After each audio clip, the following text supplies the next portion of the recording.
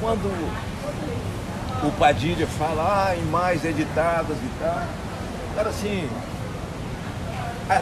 ainda que você tenha um respeito pelo cara, eu senti foi pena dele. Porque se as imagens são editadas, mas são imagens.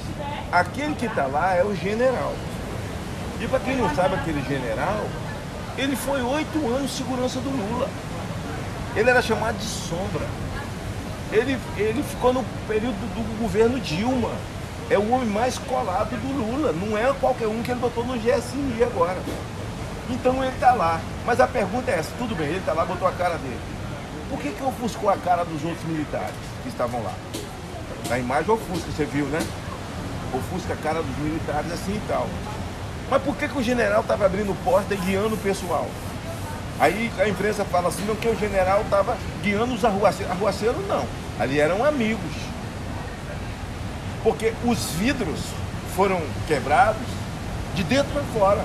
Você vê quando o cara pega o extintor. Quem são aquelas pessoas? Porque aqueles que estão lá vestidos de verde e amarelo, como se fossem bolsonaristas, conservadores, nenhum deles está na patrulha. Não tem um deles que está na colmeia. Não, não estão presos.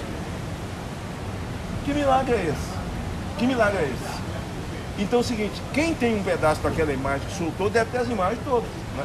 Agora eu acabei de ler uma informação, vou checar, mas deve ser verdadeira, que o ministro Alexandre de Moraes manda liberar todas as imagens daquele dia. Né?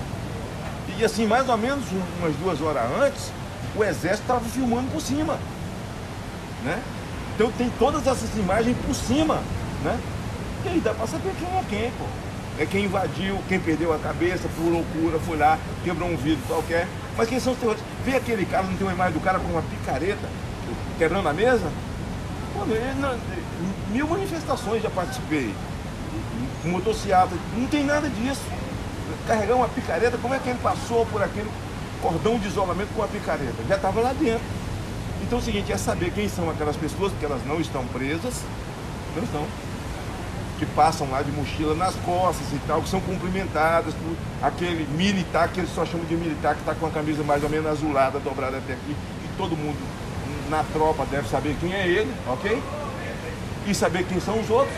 E saber quem são aqueles que beberam água, que entraram tranquilo, que foram para lá depedrar, só podem ser gente, amigas que já estavam pelo lado de dentro. Então, ali não tem perdão.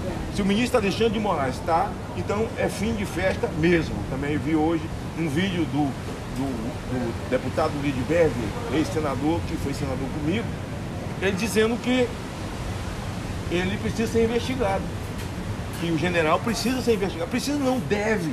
E é hora do tribunal militar. O tribunal militar, pronto, o tribunal militar tinha que pedir a prisão dele imediatamente. Mas o tribunal militar, o que, que ele tem feito agora? É se submetido ao Supremo. Ele tem entregue os militares para o Supremo. Então está tudo errado. Então se aquilo ali é o batom na cueca e o ministro Alexandre já percebeu que é o batom na cueca e que não tem como segurar isso aí, eu penso que foi por isso que ele mandou liberar, velho. Então, é, né? aquelas pessoas não estão presas, nós precisamos saber quem elas são.